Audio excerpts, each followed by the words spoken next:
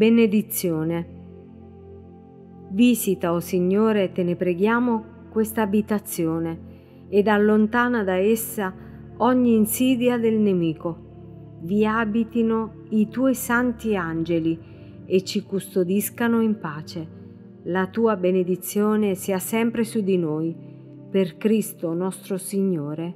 Amen.